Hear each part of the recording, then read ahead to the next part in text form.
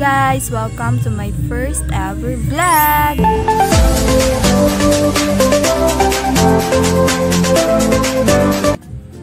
So, naisipan ko pong gumawa ng YouTube channel para po ma-showcase yung skills ko at karanasan ko sa aking buhay. Siguro po ang mga gagawin ko po sa mga videos ay magtatay or transforming your old fashioned dresses into millennial OOTDs or mga gamit na pwedeng ma-recycle or reuse gaya ng mga damit ninyo na um, pwedeng ma, ma-transform. Tama ba? At iba pang mga bagay na ginagawa ko na makabuluhan at karanasan ko.